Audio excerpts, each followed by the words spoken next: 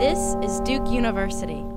We recovered 168 carcasses right here at Duke. To me, that's a lot of birds to, to find right in your backyard. After noticing the problem, PhD students Scott Winton and Natalia Ocampo Penuela spearheaded an effort to prevent bird deaths from occurring at Duke. Doing surveys um, for 21 consecutive days during migration to build like a really robust data set over uh, two years.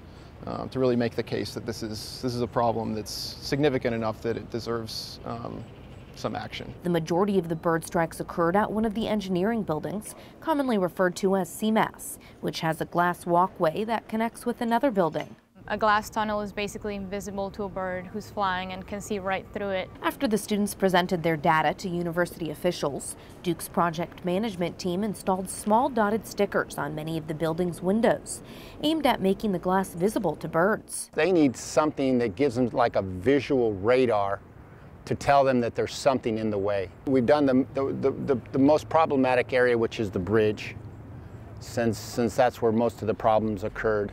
And then we've also done the tops of the towers because when the birds fly, they can see right through the glass. All those involved are hopeful the new initiative will save birds' lives. We're very happy. We're really excited that the university has kind of taken on the challenge we've given them of, of making the campus bird friendly.